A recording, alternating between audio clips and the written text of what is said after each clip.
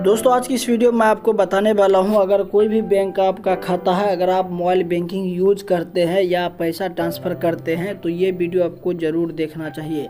तो दोस्तों, मैं आपको बता दूँ, आरबीआई ने एक बहुत ही अलर्ट जारी किया है, जो कि आपको ये जानना बहुत ही ज़रूरी है। तो दोस्तों, मैं आपको बता दूँ, अगर बैंक से जुड़ा कोई भी काम है तो इस हफ़्ते शनिवार तक निपटा ले, क्योंकि तेईस मई दो हज़ार इक्कीस, यानी रविवार को करीब चौदह घंटे तक एन काम नहीं करेगा। भारतीय रिज़र्व बैंक यानी कि आरबीआई की ओर से जानकारी बैंक के ग्राहकों को जारी की गई है। आप यहाँ पे ट्वीट पे भी देख सकते हैं NEFT system upgrade down time Sunday तेईस मई 2021 को ये सर्विसेज़ बंद रहेगी। रिज़र्व बैंक ने यह जानकारी प्रेस रिलीज़ के साथ ट्वीट करके भी बताई है, जो कि आप मेरे स्क्रीन पे देख सकते रिज़र्व बैंक ने कहा है कि टेक्निकल अपग्रेड के चलते NEFT national electronics fund transfer service तेईस मई को रात 12 बजे से लेकर सुबह 2 बजे तक के लिए काम नहीं करेगी, इसलिए ग्राहकों को पहले एनईएफटी के ज़रिए पैसा को ट्रांसफ़र कर सकते हैं। कोई भी काम है, तेईस मई से पहले आप उसे पैसा ट्रांसफ़र कर सकते हैं। बाकी बात यूपीआई या आरटीजीएस जो भी सर्विस हैं,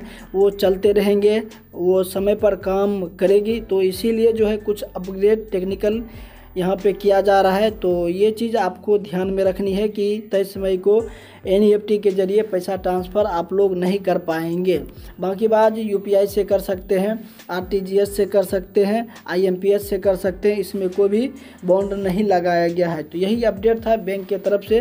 तो चाहे किसी भी बैंक का आपका खाता क्यों ना हो, अगर आप phone banking mobile banking use करते हैं या इंटरनेट बैंकिंग यूज़ करते हैं तो ज़ाहिर सी बात है, पैसा तो ट्रांसफ़र करते ही होंगे। बड़े अमाउंट ट्रांसफ़र करने के लिए यहाँ पे एन का यूज़ किया जाता। तो यहाँ पे मैं आपको जानकारी दिया तेईस मई 2021 यानी रविवार को करीब 14 घंटे तक एन काम नहीं करेगा। इस वीडियो में अभी तक के लिए इतना ही अपडेट तो अगर ये वीडियो आपको पसंद आए तो लाइक शेयर कमेंट ज़रूर कर सकते हैं। अगर इस चैनल पे आप नए हैं तो सब्सक्राइब करके बेल आइकन को दबा दीजिए। जय हिंद।